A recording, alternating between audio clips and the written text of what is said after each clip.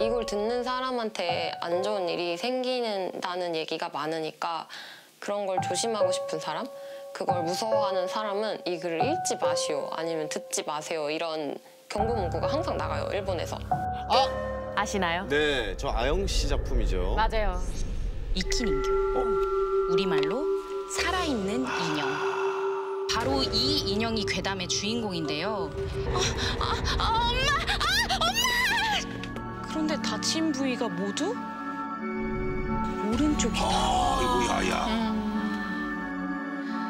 누군가 이 이야기를 듣고 오른쪽 몸이 아파온다면 부디 저에게 알려주시길 바랍니다. 이키닌교. 저는 이 저주를 진짜 믿는 이유가 하나 있긴 합니다. 김숙 선배 오른손 다친 거 기억하십니까? 오른손 다치셨나요? 다쳤어요. 정말요? 저 이거 손톱 보이십니까? 오, 오, 오, 찍혔다.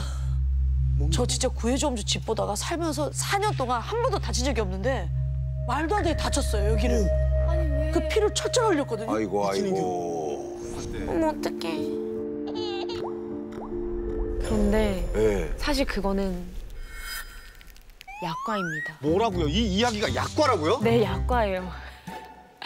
아니 방송을 본 후에 이걸 듣고 다치신 시청자분이 있으셨다고요. 좋습니다. 함께 하시죠. 혹시 제보자님께는 무슨 일이 없었을까 그런 게 좀 우려도 되더라고요. 어, 바로 직후에는 괜찮았는데 한 두 달 좀 안 돼서 아끼는 목걸이를 하고 있는 상태로 머리를 감다가 목걸이가 끈이 끊어져서 없어진 거예요. 저절로 끊어질 리가 없는데. 왜 빠졌나 하고 배수구를 들려고 했는데 손이 좀 깊게 많이 베었던 사고가 있었어요. 무슨 손? 어디 손? 그것도 오른쪽 중지랑 검지. 지혈이 한 1시간 동안 안 돼서 급하게 병원에 가서 치료받고 지혈받고 화상풍 주사도 맞고 막 그랬습니다. 어휴. 이키닌교 재방송을 보고 한 일주일 뒤에 돌계단에서 밀끌어 넘어져가지고 이제 보시다시피 심하게 다치셨네. 그 손바닥에 살점이 뜯겨 나가는 이제 사고를 당하게 됐어요. 어 진짜 오른쪽 어머니가 다치셨던 위치랑 비슷하네요.